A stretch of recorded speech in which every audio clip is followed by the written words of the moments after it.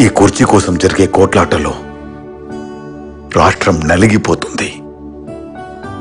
అధికారం చేతులు మారిన ప్రతిసారి రాష్ట్రం పదేళ్ళు వెనక్కి వెళుతుంది. కొత్త నాయకులు కొత్త పథకాలు కొత్త నిర్ణయాలు.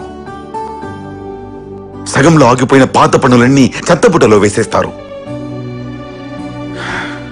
పదవిని కాపాడుకోవడానికి నేనేదో చేస్తాను. సాధించడానికి వాడేదో చేస్తాడు. మార్పు అనేది మారే ముఖ్యమంత్రిలో కాదయ్యా. మనుషులలో రావాలి.